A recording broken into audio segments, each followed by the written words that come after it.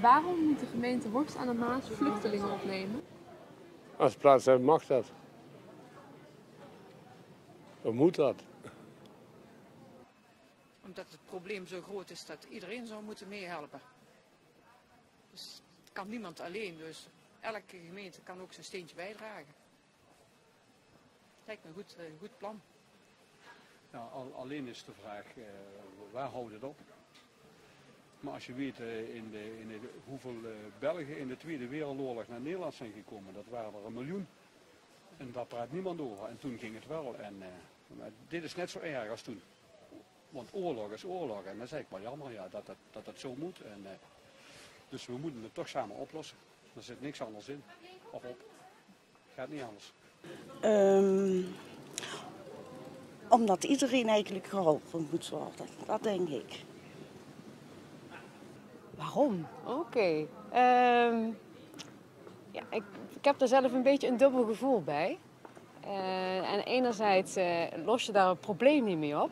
Het probleem ligt meer in de landen waar het ja, vandaan komt, zeg maar. En eh, ik denk dat daar juist eigenlijk de oplossing gezocht moet worden. Ik heb helemaal niks tegen vluchtelingen of zo. Ik vind het prima dat ze deze kant op komen. Maar eigenlijk los je daar het probleem niet op. Voor de mensen is het wel fijn, maar ja, voor ons eigenlijk niet. Want eh, wij hebben er ongemak van. En eh, een aantal hier heen halen kan wel, maar te veel is niet goed. Want dan krijgen wij er last van en ook de jeugd. Dus, eh, dus eh, toch beter toch eh, niet te veel dat ze hier zijn. Ik denk dat we toch iets voor die mensen moeten doen.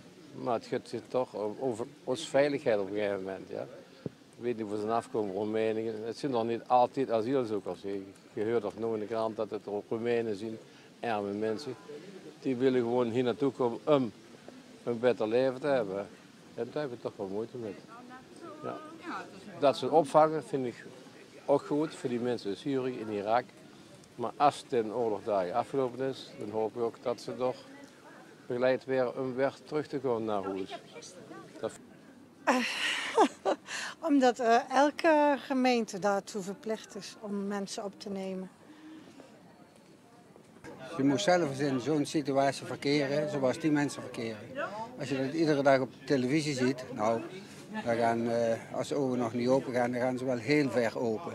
Ik vind dat die eh, mensen een, een goede kans moeten hebben om een goede toekomst tegemoet te gaan.